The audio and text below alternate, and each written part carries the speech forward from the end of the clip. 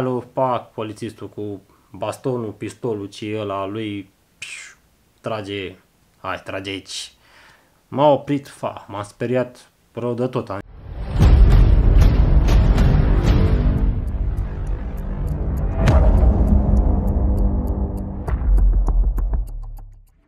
Salutare, salutare la toată lumea și bine v-am găsit la un nou vlog. Astăzi vreau să-ți fac o scurtă poveste despre mașina mea, de ce am ales să cumpăr această mașină, câte probleme am avut cu ea până acum și de câte ori am fost oprit în trafic de domnii de la rutieră. Dar hai să apăsăm butonul de like în număr cât mai mare, să strângem 30 de like-uri la acest video pentru a face cât mai multe videoclipuri. Apasă butonul de share să distribui acest vlog, să vadă mai mulți prieteni și susține-mă cu un subscribe pentru că asta îmi arată cât de mult îmi apreciez munca. O să-ți las în descriere acestui videoclip un vlog de-al meu postat acum o lună, cum am reușit să obțin permisul de conducere. Vei vedea acolo greșelile pe care le-am făcut și sper să înveți din ele agonie la extaz. Vei vedea chiar acolo, așa că apasă linkul din descriere pentru a viziona acel videoclip. În anul 2018 am obținut permisul de conducere. După ce am obținut permisul de conducere îmi doream foarte mult să am o mașină a mea, să mă deplasez din punctul A în punctul B fără mari griji, să nu apelez la nimeni. Am permis un buzunar, gata, mă deplasez eu, mă duc acolo când vreau, plec acolo când vreau, merg la munte, merg la mare, nu contează, nu mai depinde nimeni. Am tot luat internetul și l-am rupt în două cu toate site-urile de la parcurile auto să caut un Golf 5. Îmi plăcea foarte mult acel model de Golf 5, căutam un motor 1.4 benzină sau 1.6 în benzină, evitam cât de mult puteam dieselul, pentru că nu, nu auzeam multe păreri bune și mai peste câțiva ani ar putea să fie scoase din circulație pentru că deja poluează foarte mult. După cum știți, deja în Franța sunt aproape interzise sau în Germania, nu mai știu sigur. M-am axat foarte mult pe un Golf am căutat și până la urmă nu am reușit să găsesc o mașină pe placul meu sau să găsesc o mașină să-mi ofere o siguranță. M-am locuit de Golf 5, am început să caut și o Dacia Sandero, da, o Dacia Sandero, chiar căutam și o Dacia Sandero pentru că modelul Sandero din 2012-2013 este destul de drăguțel și dacă îl modifici tu un pic arată chiar super ok. Am văzut câteva pe internet foarte frumoase modificate. Am căutat și o Dacia Sandero. Bineînțeles că nu am găsit ce îmi plăcea sau poate ceva m-a făcut să mă schimb. După lungi căutări, uh, tata îmi spune, hai să căutăm și un Ford Focus. Ford Focus 2, știam deja cum arată modelul, am uitat pe internet, erau destule. Mai să e bine, hai, mai așteptăm să mai dau câteva anunțuri. Am mai trecut săptămână și am început să mai dau câteva anunțuri. La un moment dat, într-o sâmbătă seara, am găsit un Ford Focus MK2 din 2008, motor 1.6, benzină, 100 de cai, cam pe acolo. Este o mașină simplă, ce nu sprins capul în ea, nu are foarte multe dotări, adică era o mașină, cum s-ar spune, bună pentru începători. Să-ți formezi mâna. Dacă o lovești, bă, nu stai și plângi lângă mașină, bă, nu o să-ți pară rău, sau stai mai mult cu ea prin service. Sâmbătă seara am văzut anunțul, duminică am sunat proprietarul. Am vorbit cu respectivul băiat și am decis să ne întâlnim undeva în București noi. Pe acolo prin zonă cred că stătea el.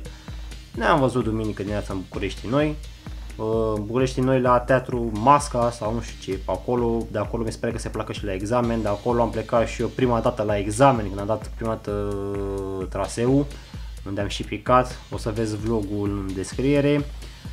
Ne-am întâlnit acolo și am început să vedem dacă are o problemă la motor, în interior, pe sub mașină, să vedem dacă are vreo problemă. Am întrebat proprietarul dacă ne permite să dăm o tură cu mașina, a fost de acord. Când am fost să vizionez mașina, a mai fost încă un prieten uh, de-al meu. El s-a ocupat să verifice mașina, el a condus-o, el și-a dat prima dată impresia, în el am cea mai mare bază, datorită lui am cumpărat-o. A fost foarte mulțumit de cum merge mașina, mașina mergea în perfectă funcționare, nu avea nici pic de rugină în el, așa că am ales să cumpăr mașina. După ce ne-am decis, următoarea zi luni, s-au făcut actele și am reușit să achiziționez un Ford Focus MK2 din 2008. Prețul mașinii a fost de 4200 de euro, cred, nu mai știu bine, sigur, undeva la 4200 de euro. Un preț destul de ok pentru un Ford, pentru că a fost foarte întreținută această mașină. În timpul în care n-am avut mașină, am condus pe un Logan. Și mi s-a părut, nu știu, saltul de la un Logan la un Ford, mi s-a părut poziția cum stăteai în scaun, pe volanul, butoanele, bordul, mi se păreau totul, nu știu, deja eram în altă galaxie, mi se păreau toate schimbate. O, e greu să te obișnuiești la început cu în primele 2-3 zile cu o mașină nouă, să o conduci. Au trecut câteva săptămâni, am început să mă obișnuiesc cu mașina, pentru că am făcut diferite plecări. Am plecat la mare, am plecat la munte, m-am plimbat foarte mult prin București, că am fost la meciuri de fotbal. Am fost la prietenul meu Marius la Ploiești și cu asta îl salut. Salut Marius, Doamne ajută Uh, sănătate, cum zic eu, sănătate. Am fost la Marius, ne-a plimbat pe acolo. Marius cred că e și prima persoană ce mi-a condus mașina. Lăsăm ghilimele, mi-a condus că știu mai bine cu el. Uh, el a fost prima persoană ce mi-a condus mașina. După a obținut și el permisul de conducere, cred că la vreo 2 ani după, mi se pare. Cred că undeva prin decembrie, cred că a luat el permisul, chiar nu mai știu când, deci nu mai țin bine minte când a luat permisul, undeva spre iarnă, cred că așa a luat el permisul, din câte mi-am amintesc eu. Dacă n-a luat așa, să mă corecteze în comentarii. Dar țin minte că mă sunase, eram la muncă și era fericit de diferite drumuri și am început să mă obișnuiesc cu mașina. Problemele uh, nu au apărut din fericire, adică n-am avut foarte mari probleme cu ea, doar că am schimbat două baterii până acum, una am schimbat-o, am rămas toată la munte fără baterie și pa, am rămas fără baterie la munte, nu știam ce să mai fac, am găsit pe cineva mi-a dat curent, pe aia am uh, găsit un Peco și am cumpărat o baterie nouă, am montat-o, iar acum câteva zile am rămas iar fără baterie și am cumpărat alta, am plătit undeva la 320 de lei pe ea, o baterie super bună din punctul meu de vedere.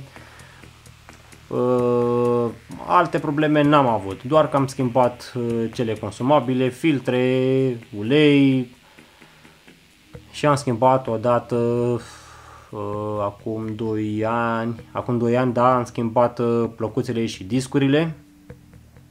A costat undeva, cred că la 7 milioane, 6, 7 milioane chiar, nu mai știu. Cred că este o sumă ok, în rest, mari probleme. N-am avut cu mașina, câteva zile nu mai îmi pornea, dar a fost treaba cu bateria, eu crezând că este vorba despre altceva, m-am speriat, am crezut că este electromotorul, ar trebui să caut pe internet un electromotor, se apropia și 1 decembrie și nu găseam deschis pe nicăieri, am zis, ai, caut un electromotor prin dezmembrări, îl montez, stau câteva zile cu el și după aia cumpăr unul nou. Dezmembrări erau unul la 150, 200, nou am văzut pe la 7, 800 mi se pare. Și am zis, hai, cumpăr un din dezmembrări, asta e, 2-3 zile, nu se întâmplă nimic. Acum să vă spun de câte ori am fost eu oprit în trafic și cum s-au terminat discuțiile dintre mine și domnul la rutieră, fiți pe fază. Prima dată știu că am fost oprit, n-am fost oprit în București, am fost oprit în afara București, undeva prin Telorman. Ieșeam dintr-o comună și eu începător, bădăran, diglău ce sunt, am încălcat un pic mai tare pedala, am încălcat un pic, am ieșit din comună, am încălcat un pic pedala și am ieșit cu vreo 90-100 din comună, pac, și știu că urma un deal, în deal am urcat dealul, pac, polițistul cu bastonul, pistolul, ce ăla lui pș, trage, hai, trage aici. M-a oprit, fa, m-a speriat rău de tot, am zis gata, nu, m-au luat cu radarul, a prins cu 100, am ieșit din comună. În comună când am accelerat, gata, m-a luat, nu, n-are cum. M-a oprit, mi-a cerut toate actele, talonul, permisul, mi-a verificat și asigurarea la mașină, mi se pare, din că aminte, și mi-a spus, uh, ok, uh, încă ești începător. Da, bine că ai lămâile puse în geam, da. Și pe aia a zis, gata, poți să mergi. Am plecat. Am plecat, m-am speriat, după aia m-am liniștit. eram deja agitat, nu știam unde am pus talon, nu știam unde am pus permisul, nu știam ce să caut în torbedou, eu când am ceva în torbedou, dar tot erau scoase deja. Eram deja panicat, nu mi-am luat panică totală. Aia e, am trecut mai departe, mi-am continuat drumul. A doua oară am fost oprit tot aproape de București, la fel. Dar nu, mergeam, eram regulamentar, n-am depășit viteza, n-am făcut nimic, am fost oprit la fel pentru un control de rutină. Am vorbit cu domnul de la rutieră, domnul polițist, mi-a cerut permisul, talonul, toate actele mașinii. După am vorbit na na na na na na, am vorbit... Când era la excesiv, mi-a propus ceva, dar... Bine ce am vorbit pe acolo, mi-a pus diferite întrebări, m-a întrebat unde merg. Pentru o ciorbă nu pot să vin la Craiova. Urcă de mașină și mergi mai departe unde ai treabă, un an nou mai bun. Doamne ajută, un an nou mai bun și ție, tată. E, așa am scăpat eu de câteva ori de câteva amenzi, poate ce odată cred că trebuia să o iau și mulțumesc pe această cale pentru că au fost de treabă. Acum ca orice om, mai depășesc un pic viteza, nu pot să zic că nu, de ce să min că nu depășesc și merg cu 80 unde scrie 80. Mai depășesc ca orice om, mai depășim viteza un pic, nu gradul de extrem să fac necazuri sau să fac prostii pe drum, nu. Îmi văd de drumul meu, conduc cu mare atenție, trebuie să știți voi că nu trebuie să fiți neapărat atenți la cum conduceți voi, să fiți atenți la cei din jur. Pentru că nu toți respectă regulile cum le respectați voi.